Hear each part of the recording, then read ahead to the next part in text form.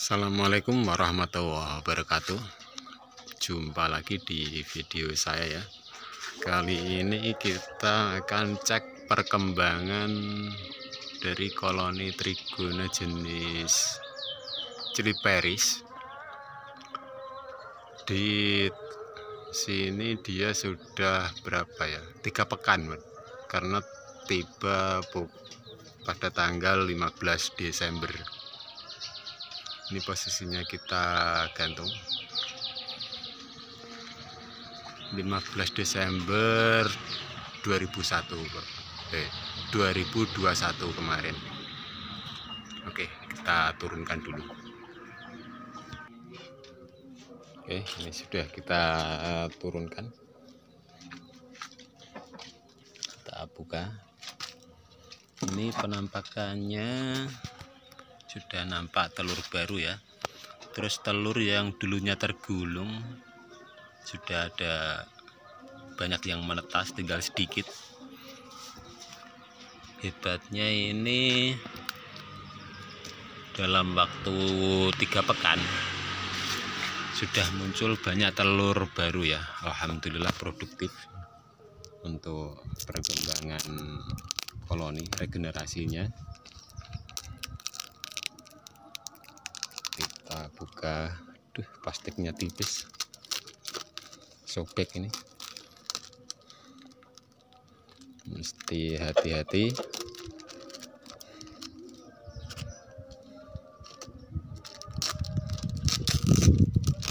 Wow Alhamdulillah. Ini telur baru nih banyak ini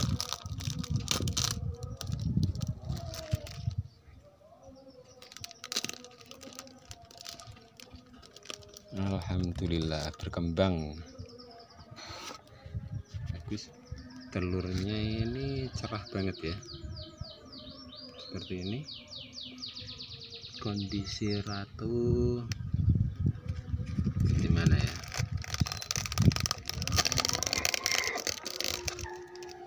Untuk madu perkembangan belum banyak. Karena ini masuk di musim hujan ya baru bulan Januari.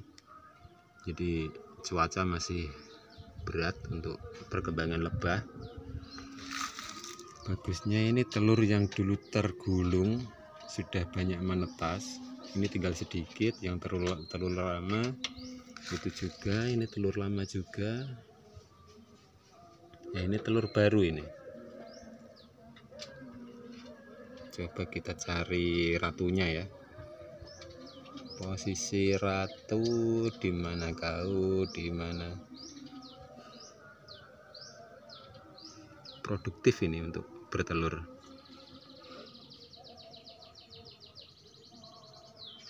Di manakah sang ratu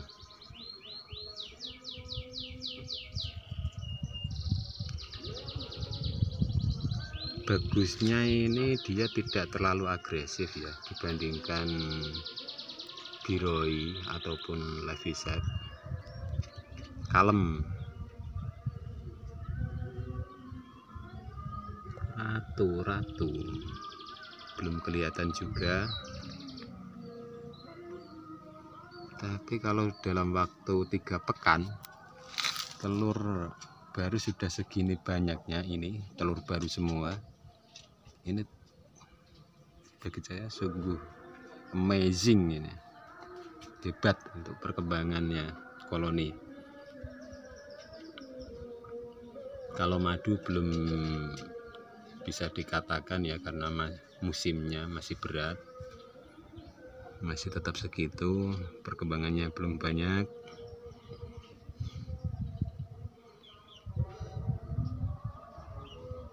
ini ada kantong madu kecil di sini. Ini juga tapi banyak yang di sini. Sebentar kita cari dulu posisi ratunya di mana ini. Tapi by the way keren ya.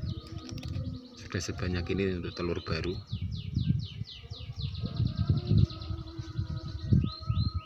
dan kita baru punya satu koloni ini saja di sini untuk jenis cili paris si perut kuning. Untuk ukuran badan kurang lebih sama ya dengan jenis-jenis tetragonula lainnya. Ya seukuran levisep lah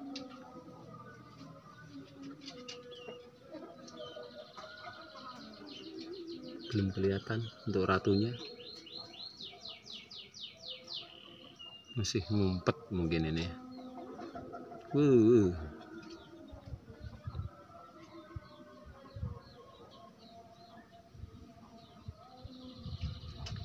dan untuk setup ini masih setup aslinya dari uh, farmnya di sana di Lombok. Hanya menggunakan plywood. Ini plywood ukuran kalau tidak salah ini ukuran 9 mili ya untuk dinding. Terus untuk lantai dasarnya hanya plywood 4 mili ini kalau nggak salah. Untuk tutup atas juga 4 mili.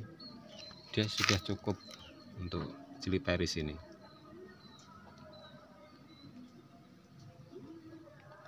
jadi tidak perlu kayu tebal kayaknya. Dia mampu. Bagus. Jadi enggak ribet. Dengan kayu seperti ini pun dia bisa berkembang.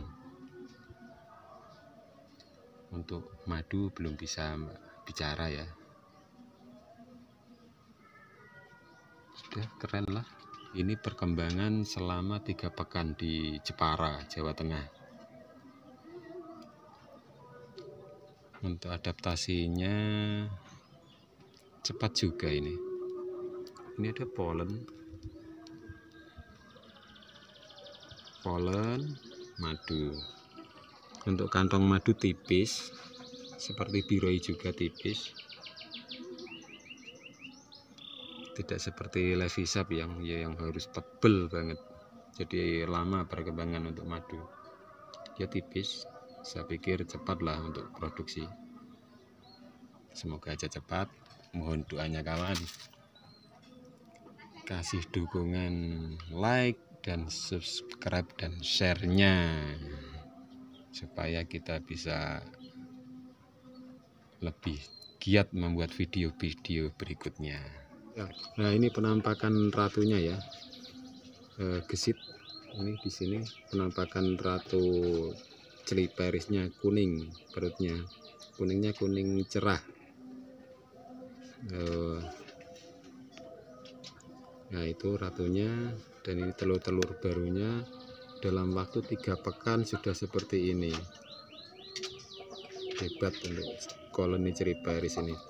Oke sekian dulu kawan-kawan selamat bertelur dan ada madunya semoga berkembang dengan baik dan berproduksi supaya kita bisa uh, apa ya harapannya banyak susah disebutkan. Oke, doanya saja kasih like, share, dan subscribe ya. Untuk video-video berikutnya. Terima kasih. Assalamualaikum warahmatullahi wabarakatuh.